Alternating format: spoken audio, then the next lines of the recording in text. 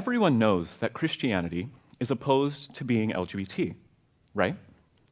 If you scan through most denominational statements from Christian churches, you'll find near universal condemnation of LGBT people and our lives and love.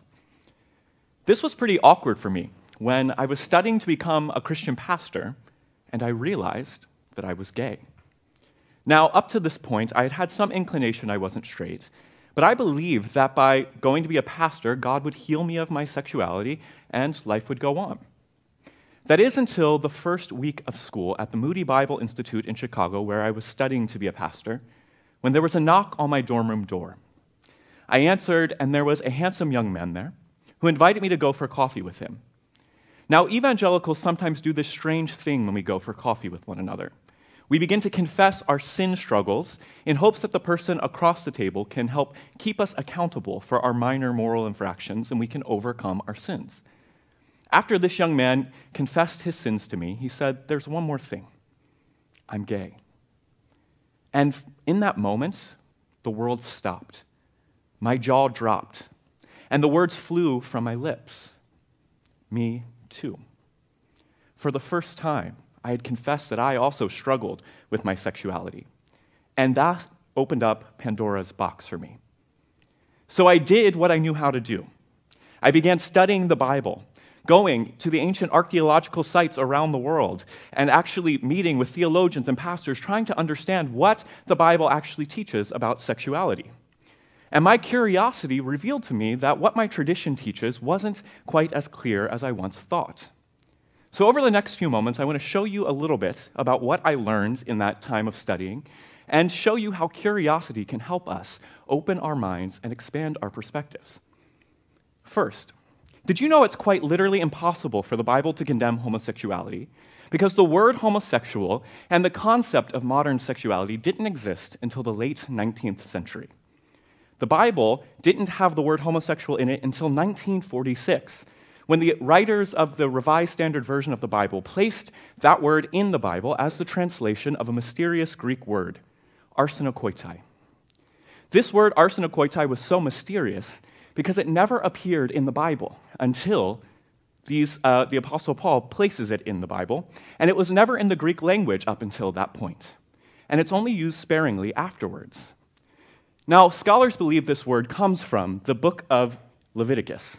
18:22, where it says, "A man shall not lie with a man, as with a woman, for this is an abomination."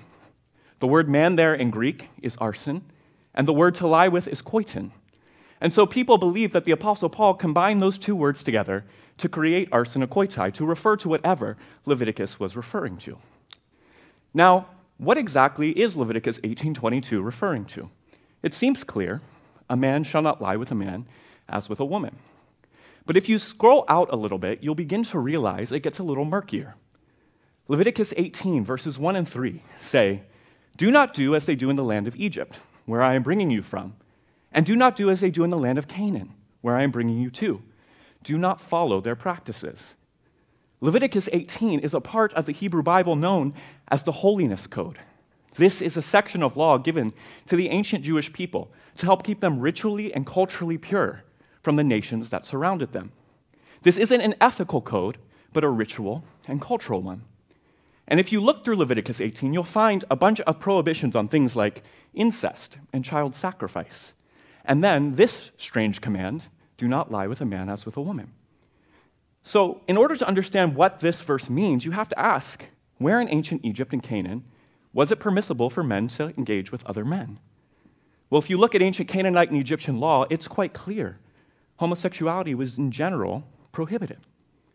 So scholars have deduced that what was likely being referred to was one of three things.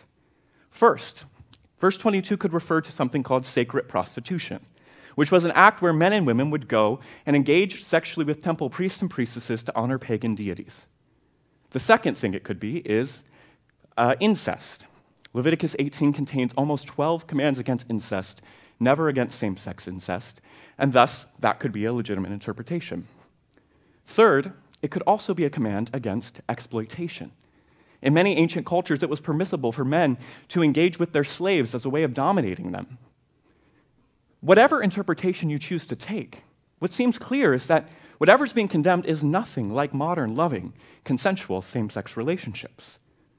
Now, if you zoom out a little bit more and look at ancient sexuality in general, you'll find that the way the ancients conceived of sexuality is so different than our modern notion. Today, we believe sexual identity is innate. We are wired to be attracted to one gender or another or a spectrum of genders. But in the ancient world, it wasn't about what gender you were attracted to, but the social status of the person you were engaging with. So, in the ancient Greco Roman world of the Apostle Paul, if you were a Roman man, it was permissible for you to engage sexually with anybody who was lower on the social hierarchy than you, man or woman. Now, if that's truly how the ancients viewed sexuality, and we reject that patriarchal ordering of the world, and we concede that Leviticus isn't talking about anything akin to modern loving same sex relationships, can we truly say that the Bible is condemning homosexuality? To me, it seemed we couldn't.